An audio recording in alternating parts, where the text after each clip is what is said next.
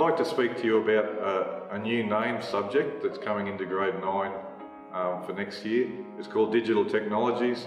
It's exactly the same course that we're currently running called Computer Studies, but we've just changed the name. The reason for that is the, the national curriculum that's come out has changed the name of anything to do with technology into either design and technology, which is sort of your manual arts area, but digital technologies is the name for computing. So exactly the same course as we're currently running in year 9 and 10, it's just got a new name on it. Kids who should do digital technologies are those who like problem solving, they like working on a computer.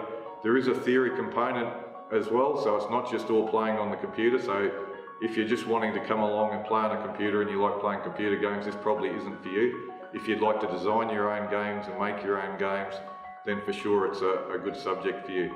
Lots of problem solving, lots of teamwork, collaboration, critical thinking, those type of skills. As I said before, there is an element of theory in it, but we tend to use real world examples, so you'll be able to see where this applies in the real world.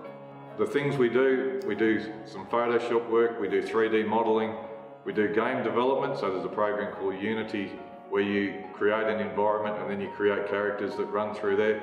We look at databases and we spend a fair bit of time doing some coding. So we start off with some basic languages and move up to some more advanced languages and some modern languages like JavaScript.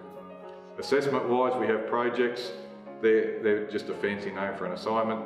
We also do exams, of course, but most of the work you'll notice is really based in whatever is happening in the world.